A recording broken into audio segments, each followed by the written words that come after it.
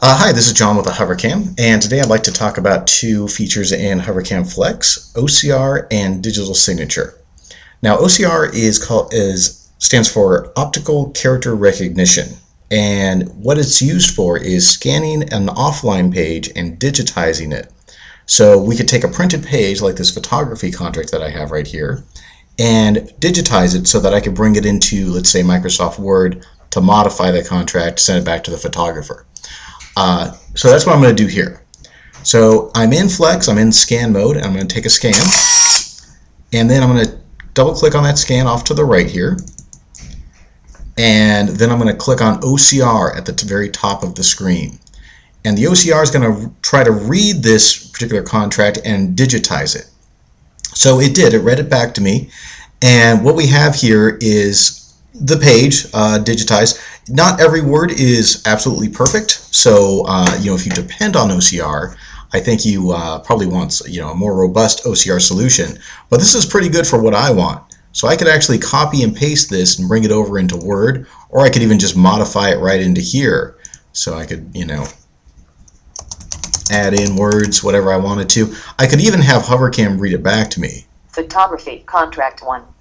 The client shall reimburse photographer for So pretty neat already. But in addition, if I liked this contract and I thought it was a good contract, I could go ahead and sign it through HoverCam. Now, of course, you could always just sign the page and scan it and send it back to the photographer. But let's say I wanted to apply a digital signature to this.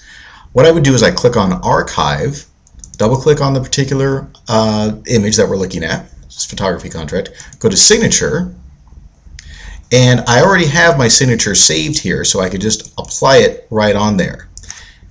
Now once I have my signature saved, it asks me for a password, so all I have to do is just enter my password, and boom, I've got my, pat my signature right there on that page. Now, in order to capture your signature, I'm going to go ahead and delete my signature so I can show you how you actually create one. Let's see, I didn't have a signature. I would click on signature, it would ask me to create a new signature. I would say yes. I want to put in my name and my password so no one else can use my signature.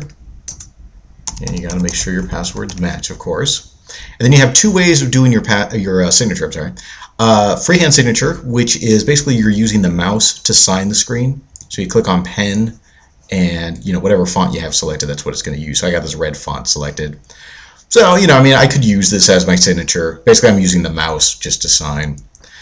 But a more accurate way of doing it would be image signature.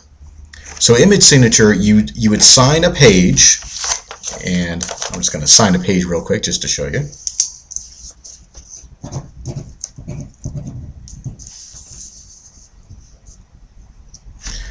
You put it under the camera.